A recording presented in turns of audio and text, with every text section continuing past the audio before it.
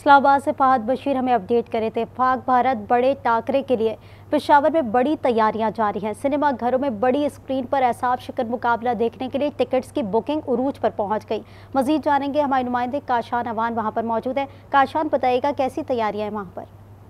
جی بالکل، بڑے مقابلے کے لیے بڑی تیاریاں جاری ہیں۔ پشاور میں بڑی سکرین پر جو پاک بھارت ٹاکرا ہے، وہ دکھانے کے لیے اہتمام کیا گیا ہے سینما گھروں میں۔ تو جو پشاور کے شہری ہیں، وہ بڑی تعداد میں ابھی میچ کو کافی ٹائم باقی ہے، لیکن ابھی سے ہی آ رہے ہیں اور ٹکٹس لے رہے ہیں تاکہ جو بڑا میچ ہے، وہ بڑی سکرین پر دیکھا جا سکے۔ یہاں آئے شہریوں سے جب ہماری بات ہوئی تو ان کا یہ کہنا تھا کہ جو گزشتہ میچ تھا، جو اپسٹ ہوا تھا، اس کے بعد وہ پاکستانی ٹیم، قومی ٹیم کی کم بیک کے لیے پر امید ہیں اور وہ یہ کہہ رہے ہیں کہ انشاءاللہ آج جو پاکستان کی ٹیم ہے وہ روایتی حریف بھارت کو ہرائے گی اور یہ میچ اپنے نام کرے گی۔